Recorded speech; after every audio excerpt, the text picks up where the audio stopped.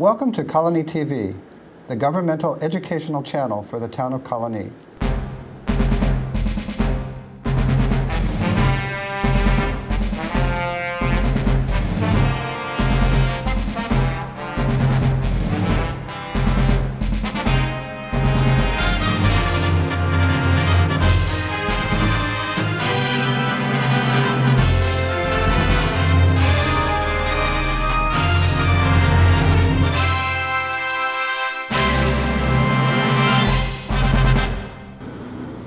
Welcome to So Many Books, So Little Time. This is show 30.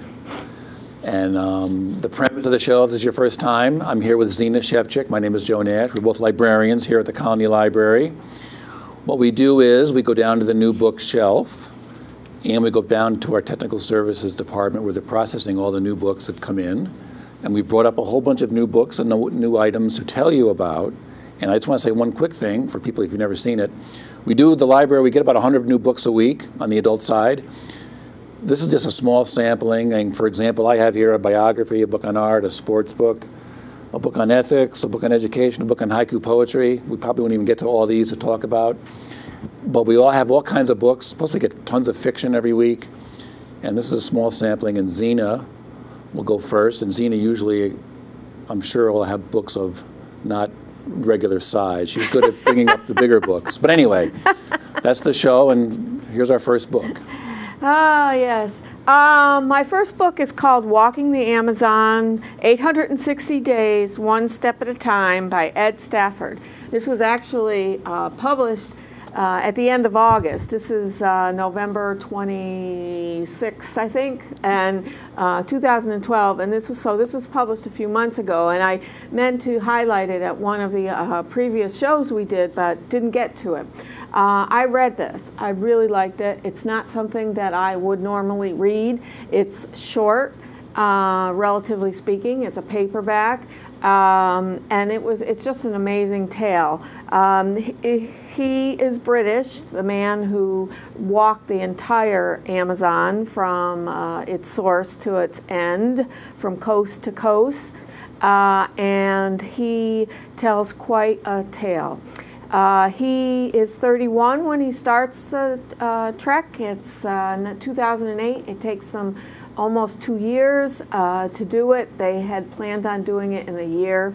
Uh, it's just amazing what they had to deal with. Um, the grit, the, the grit, the determination to keep going is just amazing. He does have um, a background uh, in physical things, um, feats. He excelled in rugby, rugby, rugby, rugby, rugby um, as, as a British uh, teenager, and uh, he went into the British Army. And before he decided to do this trek, he was uh, a leader of expeditions. They call them conservation, kind of ecological expeditions in, in Belize.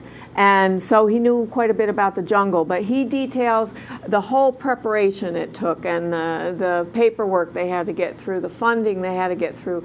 And he, um, to get the funding, he had to promise to write a book and do a blog and um, be on the uh, web. Uh, while he was uh, doing the walk, wherever he could uh, actually get connections. But it's truly amazing. He, the partner he started with dropped out after three months, and he, his guide, um, someone who agreed to go with him, uh, who was a local guide uh, to travel with him just for a few days, stayed uh, for a year and a half with him. So Wait, he said he would only go for a few days, and he stayed the, the guy, yes, yes, and um, and I mean, just uh, the, there's pictures in the middle of the book that uh, just amazing, and it was a fascinating tale. Kept me um, kept me entranced. So highly recommend it. I Walking think I read some good reviews of that. What what did he do? He just followed the river? He followed the river, but he, they talk about how it floods. Yeah. Uh, it's a relatively, um, it's not a deep river, and it floods and goes Okay. over its banks, and it, uh, and it's unpredictable. And uh, how they met natives who weren't friendly, uh, besides all the animals and bugs and diseases. Did he get and, Did he get sick? uh, not very much. He he's a real he's really incredible. A lot of the books specimen, physical specimen, I'd say. Four thousand three hundred and forty-five Okay. miles. So. Did you ever read? That sounds. Did you ever read that book, The Lost City of Z? No. Oh, that's no. another Amazon adventure. That was really good a couple No. years ago. No, no. All right, one of the best things about reading biographies, besides finding out about finding out about the person and who they are and whatever, if it's someone you're really a fan of or someone you really like, it makes biographies more. I mean, it makes them better, I think. So this is one of my favorite authors, a biography of him, and it's called Thornton Wilder, A Life, a new biography of Thornton Wilder, the playwright and the novelist.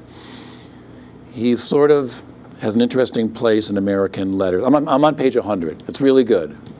Um, it's a long one. It's like 800, 700 pages. Did he, was he in the early 20, early? He, he was 20? born in 1897. Okay, that's thought. Died in 1975 or 6. But he has an interesting place in American letters because he was he was primarily known as a dramatist. He, he won two Our Pulitzer Prizes. Prize. Yes, Our Town, Skin of Our Teeth, Matchmaker.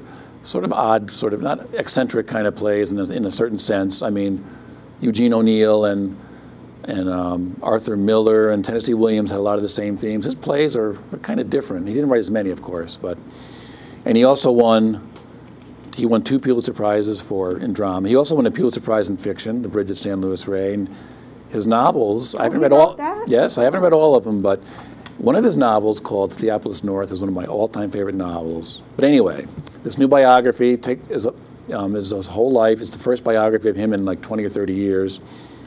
It's the first biography to rely on a lot of his family letters and diaries, which were never released before. There's thousands. Very interesting family. The father really controlled everything. There's million, thousands thousands of letters back and forth. And he, so far, he's, I'm at the part where he's in college, and it's very interesting. He was always wanted to be a playwright. He, he wrote plays when he was a kid. They lived in China for a while. His father was in uh, council. And it- so far, even though he's only in college, it's very interesting. I haven't even got to the part where he becomes a famous writer. But again, sort of an eccentric kind of writer. He's different, I think, than a lot of American. Like I say, he's his writing is he don't follow the usual themes and patterns. I don't know, but one of my favorite authors, Thornton Wilder, and here's the new biography, Thornton Wilder: A Life by Penelope Niven. So, Okay. I say, when you read biographies of people, if it's someone you really like, it makes it a lot more interesting. That's a thick book. There's a lot of notes at the end. the book has, I'll tell you in a second. If I if I exclude the notes and the bibliography, the epilogue ends on page 703. But I read the first hundred like that. It was it's really good. Must be an interesting person. Yeah, he, he was To interesting. warrant 700 pages. He was an interesting guy. Okay, good. Mine's much more pedestrian. this is uh, called Hidden America From Coal Miners to Cowboys An Extraordinary Exploration of the Unseen People Who Make This Country Work by Jeanne Marie Laskas. So it's a woman who uh, spent time with uh, some people we wouldn't normally normally come into contact with. She spent time with uh, coal miners, blueberry pickers in Maine, uh, roughnecks, workers on an oil driv- drilling rig in on Alaska's um, slope. I'm Did she work with them? called. She was actually spent quite a bit of time with them, and she got to know.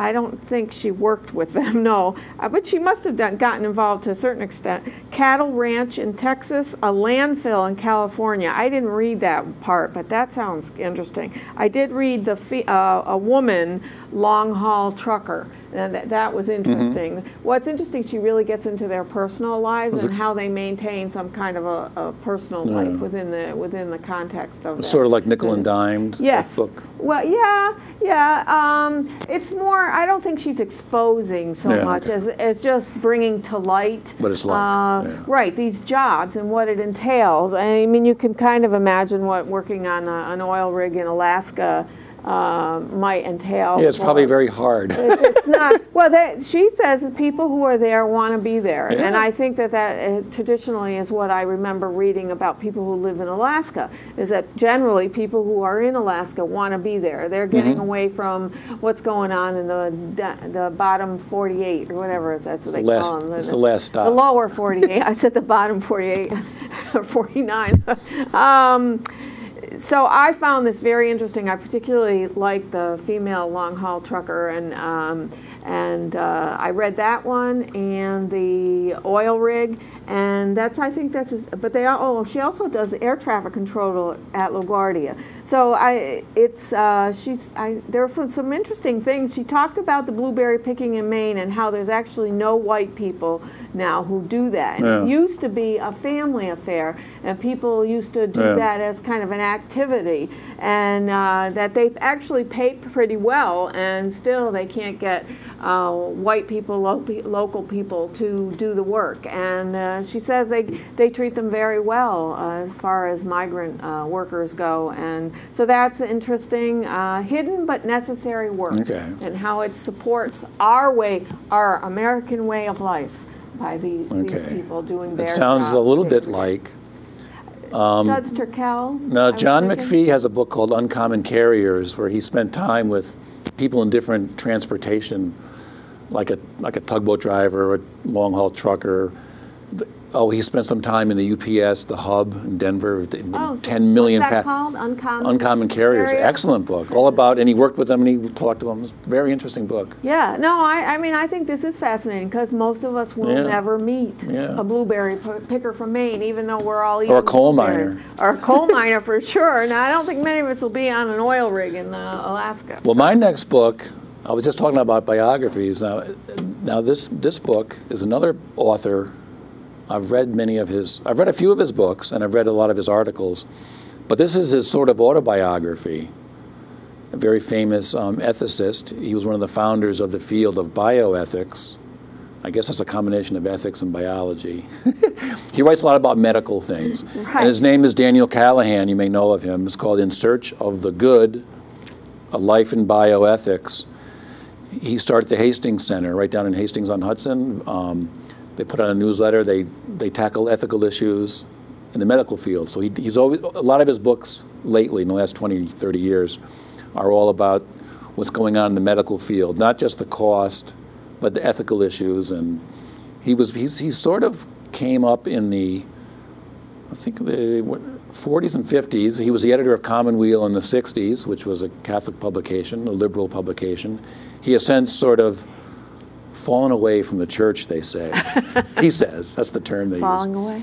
But the really interesting thing is, because I read an excerpt from this book and I read the introduction, he, he, was, he says that for his, um, what he does for a living, being an ethicist, it, just being an ethicist and a bioethicist, he thinks that being raised on religion and studying religion and all that, even though he's fallen away from it, it, made, it has made him a better ethicist, and he thinks more ethics people, more ethicists should study religion or at least be familiar with it, because he thinks one of the reasons he left philosophy in Harvard was he said it was all studying this symbolic logic, it was all, it was all linguistics, it was all, it was all nothing they never went after sort of a higher meaning or anything, and that really that's why he left. He bothered him. Then he, so anyway, and then he started by he started the field of, he started studying medical ethics, but then I guess I don't know if he coined the term bioethics, but um, he ended up being one of the founders of it, him and Willard Gaylin. So anyway,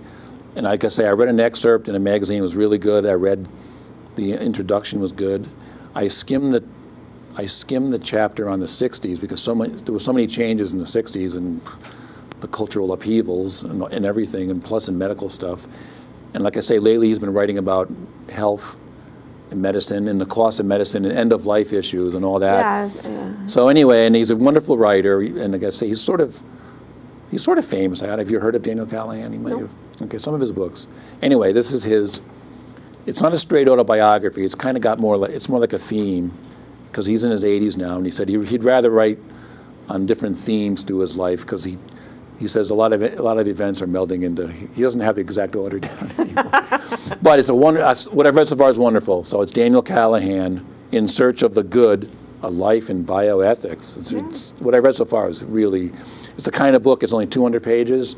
right. I There's enough meat in here to talk about for 10 volumes of stuff. It's really, really good. What I've read so far. But I'm going to read it Well, next. yeah, I think bioethics is larger than medical ethics. Yeah. It's just probably like cloning and. that- He could, yeah, cloning. He was on the um, President Bush's um, commission on stem cells when that was all going on. He's very interesting guy. What was his, did you didn't get to the. No, but he brings a he brings a perspective. I think that he says because of his um, religious life, I guess, earlier than what before he left, he, he finds that his point of view is sort of missing from the, I don't know, regular ethics. I don't know what the term is, but Yeah, yeah, yeah. where he finds a lot of ethicists don't have that that that that um, aspect, I guess, to their work. But Right. so anyway, Sounds good. okay. That's good. You're bringing things to our attention that we don't know about. I'm the big questions guy. That's right, you are, and I'm the, I'm the here. This is something everybody knows about Facebook, although I don't know that much about it, which is why I like this book. Facebook for Seniors. My theme today is going to be big. Joe says I bring big books. My I meant odd size books. Oh yeah, well my thing I know what you meant. I'm being silly. um, my, I'm uh, like this book because uh, as I'm aging, I'm appreciating large print, and uh, this book is large print, and it has great big pictures, screenshots of uh, things that you know you'll see on the computer, and it gives superb directions, step by step by step directions on how to use Facebook, how to uh, keep yourself safe.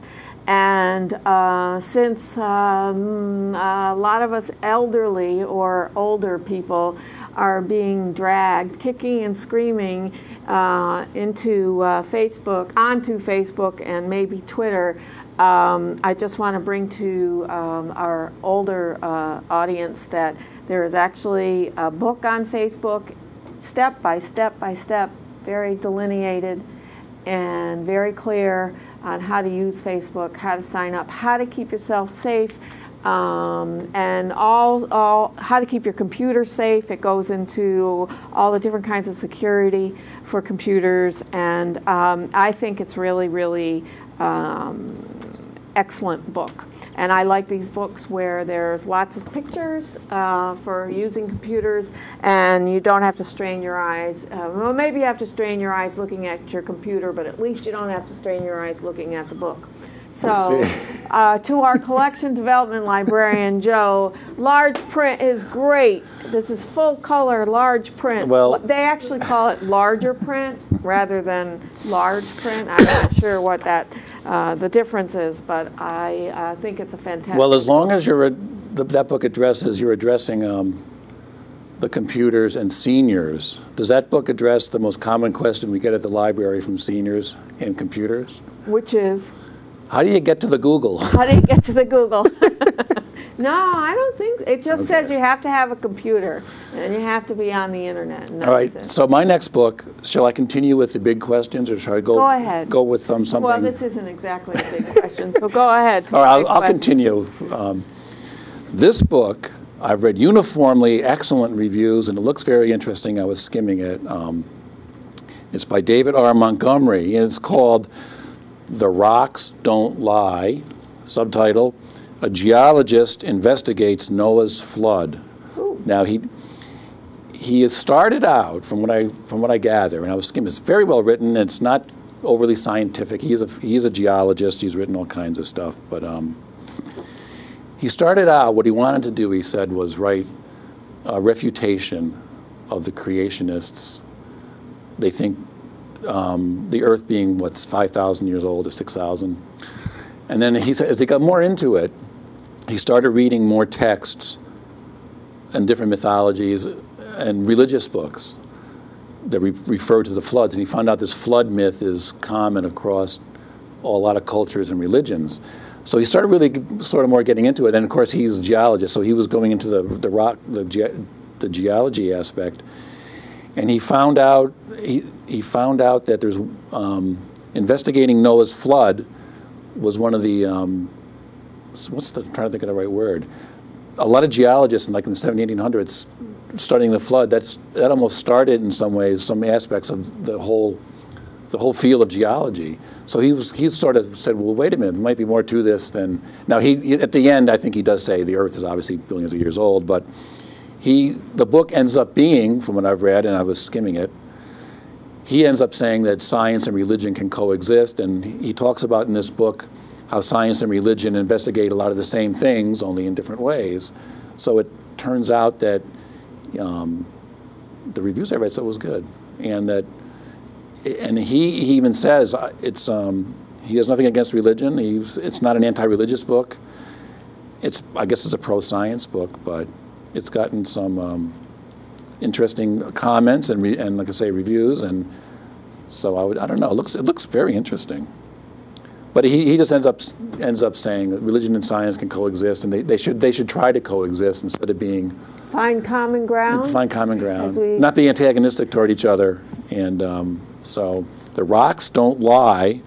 A geologist investigates Noah's flood. Not be set in stone. Yeah.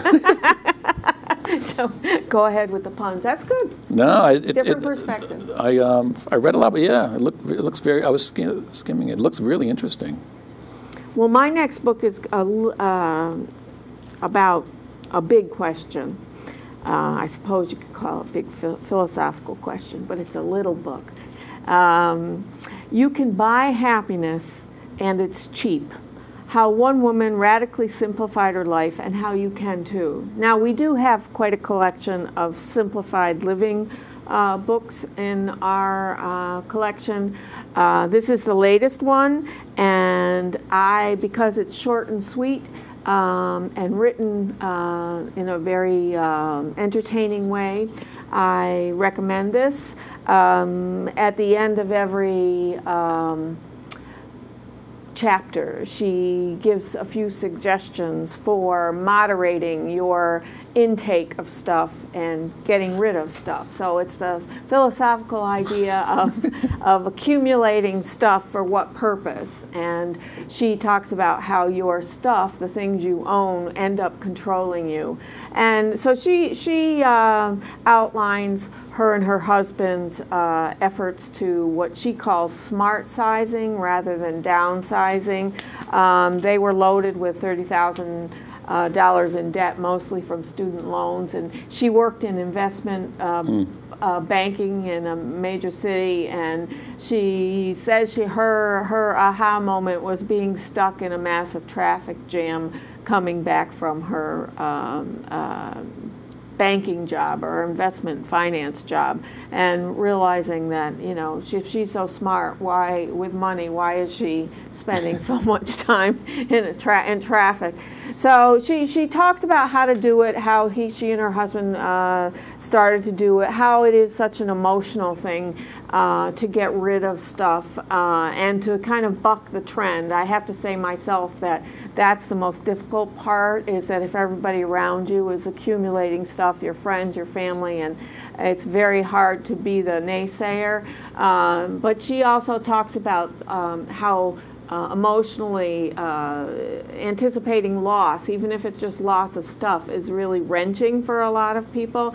So she talks a little bit. It's not really touchy feely too much in here. It talks a li- you know it has a little bit of a psychological edge to it, but mostly it's about how to take small steps just to simplify and uh, smart size, downsize your life. And she, she and her husband actually live. This is extreme, and she says it's extreme. They actually live in a little house on wheels that's parked in the yard of a friend's house in um, uh, in Portland, Oregon. But what's interesting is just the this the journey to simplified living and, and just confronting the fact that their stuff own, own them you know? They felt they needed a bigger house and then they needed a bigger house to hold the stuff that they had and yet they didn't use the stuff. There's a at this right at this time uh, i'm seeing a new poster. Well I, it's new to me anyway that's uh, uh, black in, uh, black with white writing that says in very large letters you want you buy you forget so, uh, you know, you want it, you buy it, you forget it. And uh, um, the new mantra of simplified living is why do you want this stuff that you're going to forget about as soon as you buy it? So, I'm a proponent of simplified living and I'm, I'm edging in that direction. So, Okay, you can buy happiness and it's cheap. All right. Now you keep mentioning the word stuff there. All I could think of was the old George Carlin, the old George Carlin routine. Yes. A place for your stuff. Remember that? I- yeah, I do. that's that's the only reason alone to, to have less stuff. You don't have to bring it everywhere and keep bringing it. then you go, right. yeah, the whole thing. All right. Now, Zina. Joe. We all know that John Updike wrote something like 40 something novels and short stories. And seven or eight books of literary criticism, each one about seven or eight hundred pages. Did you also know that he was, wrote a lot of books on art criticism? No, I didn't. He was the true John Updike, the true Renaissance man, I guess you could say. I don't know how he had time to write everything he wrote. I mean, his five books of literary criticism and book reviews mainly is enough for a career for someone. For, forget writing everything else. He also wrote 40 odd novels, but he also has three books. This is the latest book of his art um, art criticism. John Updike. It's called Always Looking. Picture of him in a museum. The covers of the three art books are very. It's a picture of him in the museum, always, you know, contemplating some work of art. The other books were called Just Looking and Still Looking. And here's the new one, Always Looking. Of course, John Updike died in 2009, but this is the last collection. He was a very astute art critic, and what he does, there's, there's a lot of excerpts from the shows he went to. There's a lot of pictures, a lot of the um, art shows he went to. And, and John Updike, in case you did not know this, his first, um, he wanted to be, before, he was a, before he was a writer, he wanted to be an artist. When he was a kid, he wanted to be a cartoonist. And I think he actually studied art in Harvard. But of course, he ended up being one of our foremost uh, American authors. So what he does is he just, most of these were printed in the New York Review of Books. And he would go to a show. A lot of them, are, there's a couple in here from Williamstown. We'd go to New York, and um, there's excerpts from the show he went to, and he would really Are they paintings that we would be Oh, yeah. Well, with? for example, here's one. It's called, um, this was a show in February to April of 2006 from um, Treasures from Olana, you know, the house down in um, south of here. I can't remember where it is now. Um, Frederick Edwin Church's place. And there was a, there's a lot of art in there. And that's, and it's just, it's just the text. Here's one from Williamstown, the Clark brothers. So the, let's see what he's in here on. What is American art? He went to a show on Gilbert Stu- um, Frederick, Frederick Edwin Church. He went to um, an, an impressionist, impressionist show, an early moderns, a show on Monet, Degas, Edouard Villiard, Gustave Clement. I, am I'm sure I'm not saying that right. Joan Miro. He went to a surrealist thing. Roy Lichtenstein, you know, the guy with the comic book things. And he's a very astute writer of, um, of art criticism, besides all his other criticism. So John Updike, a multifaceted writer, and he wrote about art just as well as he wrote about literature. So if you like art and a Well, different point that of view, that really helps. Reading books like that really helps to me. And when you're you yourself teaches you how to how you might Yeah. want to look at art. So Yeah, I, I eh, it, that really does help. And I think, you know, John Updike, again, he's not an art critic in the sense that's, that was his living. He's probably, you know, like anyone else, he would go and he hears the Monet show and just tells you what he thinks about him, shows the pictures, and It's what he sees, or it's Yeah. what different people see when they look at art, and I, I find that um, I find that helpful because very often when I walk into an art gallery or something, I do not know how, what to look at. I Yeah. don't really know how to look at it, and uh, reading books like that is very, yeah, I think very part of it, part of it isn't just um, looking at it. It's, it, there, I guess you got to know sort of how to look at it. So Right. he, I think he goes into that a little bit, Yeah. but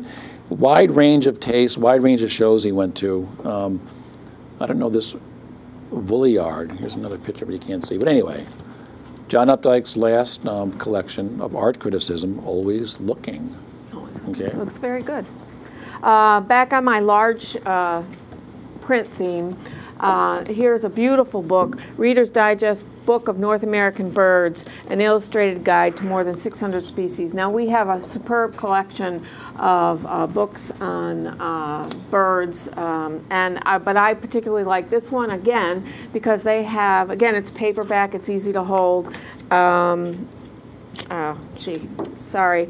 I had a beautiful, I really liked uh, this, the, the duck, the ducks, the pictures of the ducks.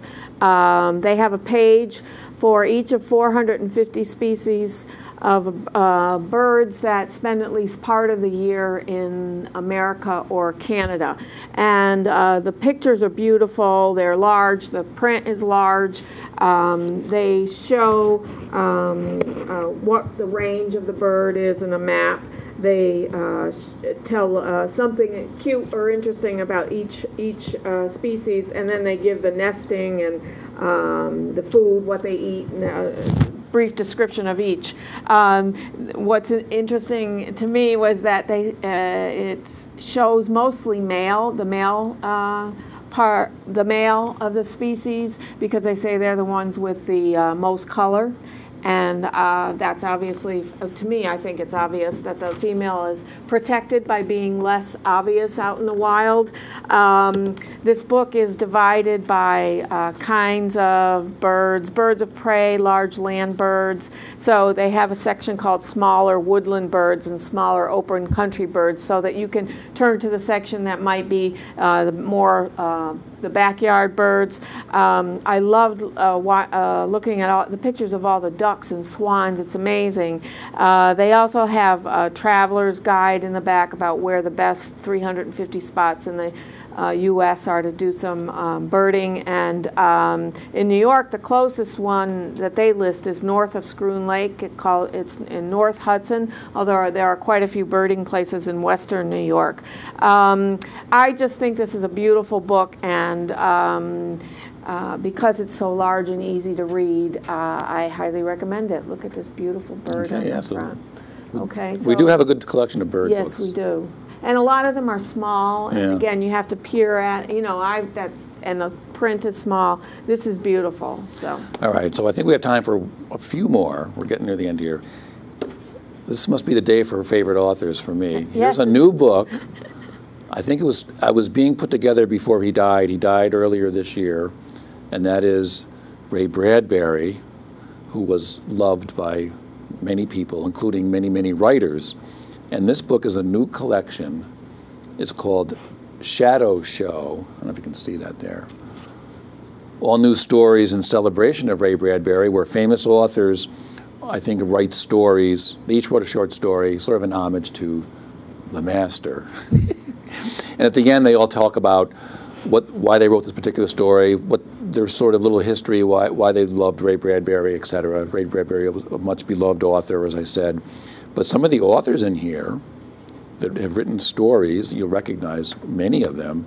Neil Gaiman, Margaret Atwood, Sam Weller, Dave Morrell, um, Lee Martin, let's see, David Eggers, Harlan Ellison, Audrey, Audrey Niffenegger, no, Niffenegger, I don't like, I'm not saying that right, Joe Hill, Dan Chaon, so all, all pretty famous authors, Al- Alice Hoffman's in here, Jacqueline Mitchard, so they all wrote a story in honor of Ray Bradbury, and I think as the book was being put together, the book came out in October, but Ray Bradbury died, I think, in the, in the late spring, early summer this year. So, if you love Ray Bradbury and want to read some famous authors writing little homage to him, and and again, at the end of each story, there's a little page or two by each of them explaining the, this particular story they wrote for this collection and their love of Ray Bradbury. So it's called Shadow Show.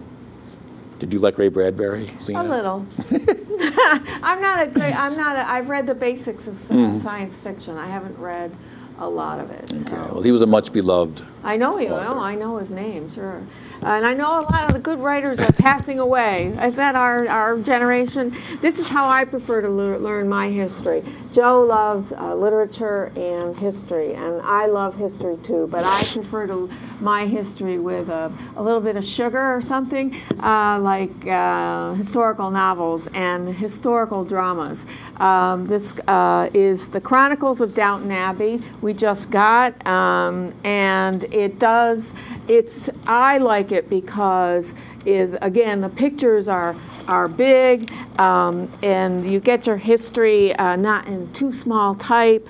Um, this is, uh, this two-page spread is about the cigarettes, uh, the invention of cigarette making machinery at the end of the 19th century ushered in an age of cheap cigarettes. And then it shows some of the ads and some of the containers that the cigarettes were uh, uh, packaged in in the early. Uh, uh, 20th century, and that's when Downton Abbey, the PBS series Downton Abbey, uh, takes place. In England, and uh, it has big pictures of the women's uh, clothing. So there's shots of the gorgeous, uh, authentic clothing that they wear in the show. The next series, there's been two series, two uh, series of the Downton Abbey, and now the third one's going to be in January uh, of 2013. And so this book kind of uh, precedes the um, showing of the third series in the U.S. It's already been shown in uh, England, uh, and so there are some giveaways in this book about what happens in series three.